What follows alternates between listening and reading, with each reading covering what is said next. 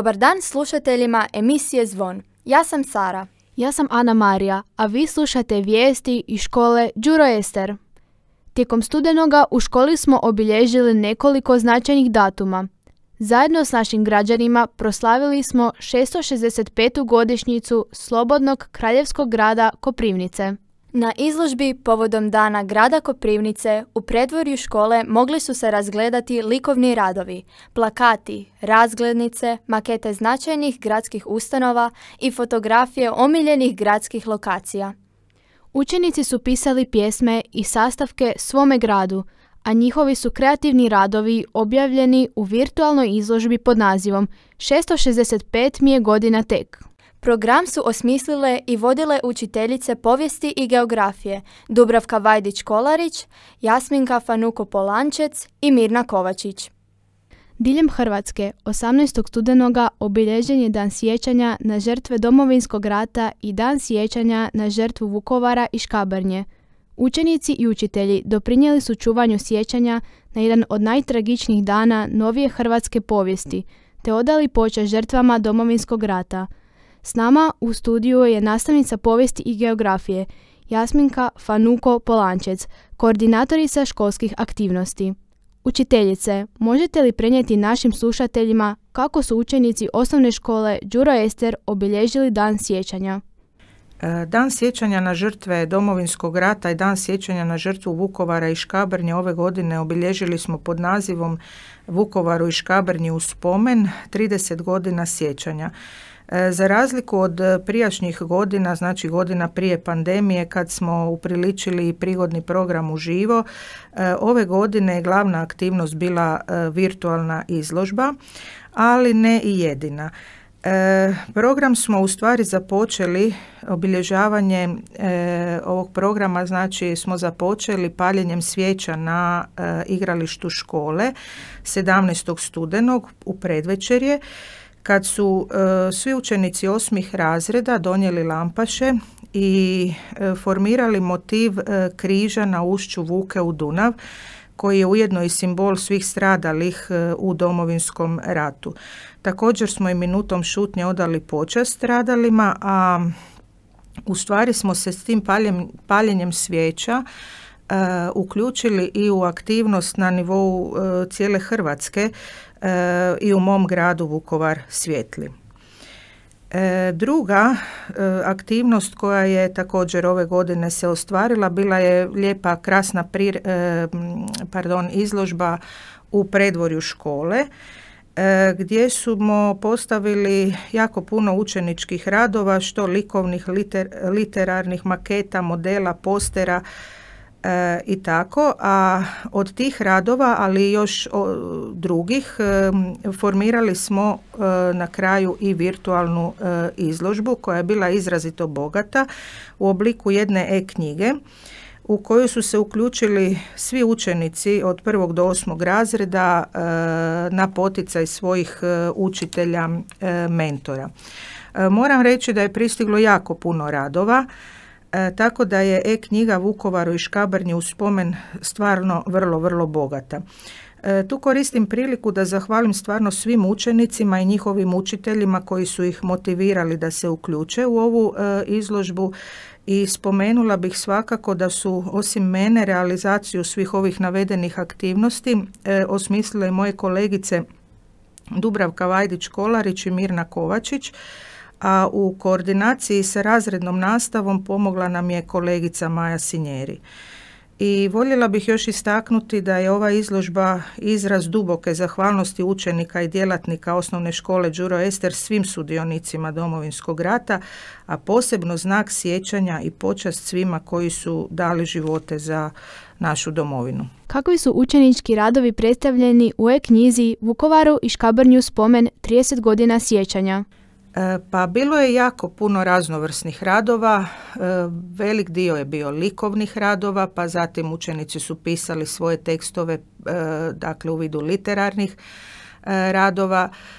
Pristiglo jako puno fotografija, maketa, modela, različitih spomenika u Vukovaru, memorialnih područja.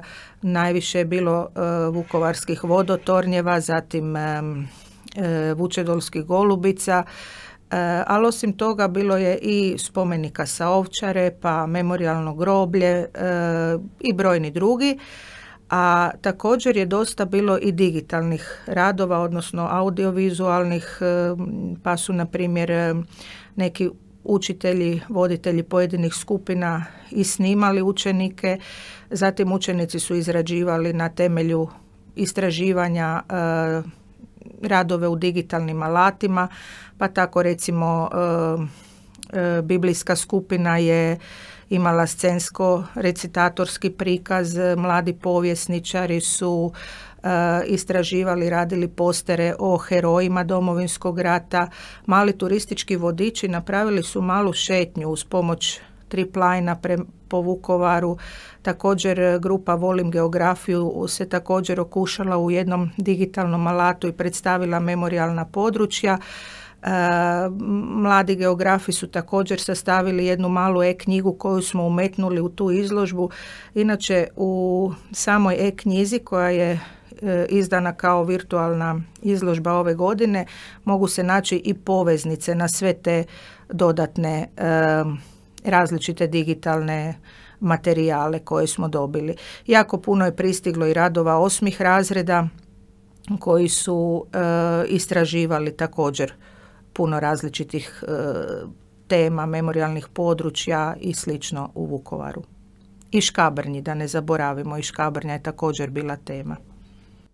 Koje važne povijesne datume obilježavaju učenici i učitelji naše škole?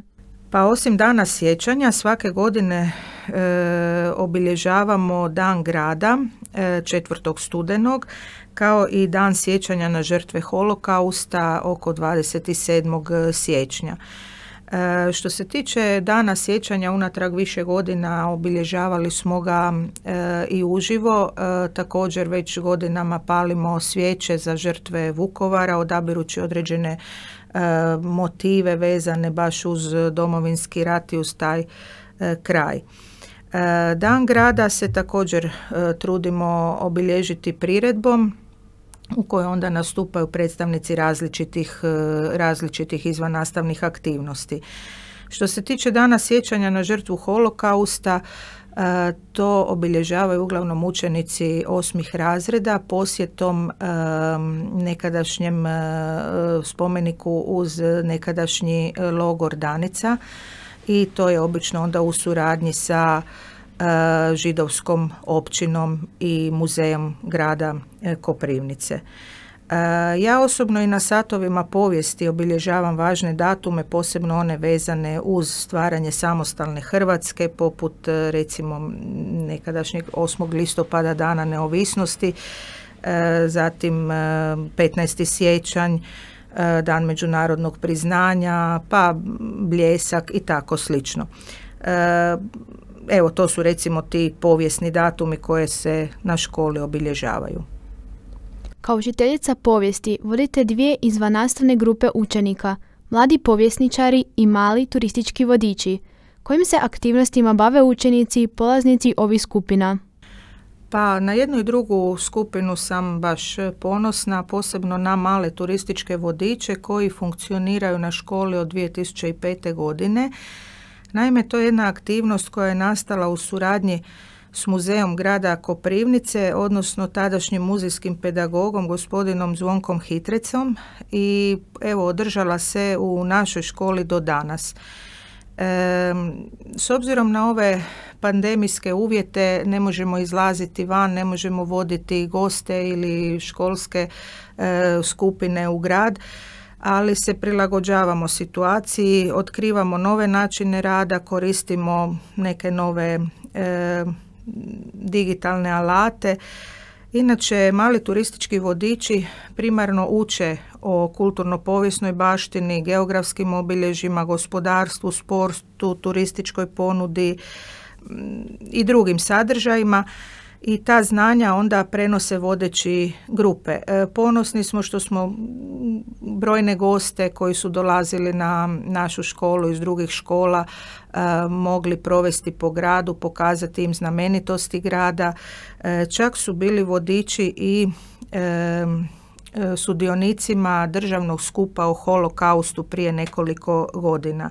Također ponekad vodimo učenike trećeg razreda u razgled grada ili petog razreda kad idu u posjet e, muzeju i slično. A u novije vrijeme se snalazimo, ne možemo e, izlaziti, ne, nemamo goste koje bi vodili pa e, izrađujemo prezentacije o gradu, evo tema nam je bio Vukovar, prošle godine sam sa malim turističkim vodičima izradila u digitalnom alatu triplajnu putovanje, maturalno putovanje i tako. Evo, dakle, pronalazimo neke nove, nove ideje.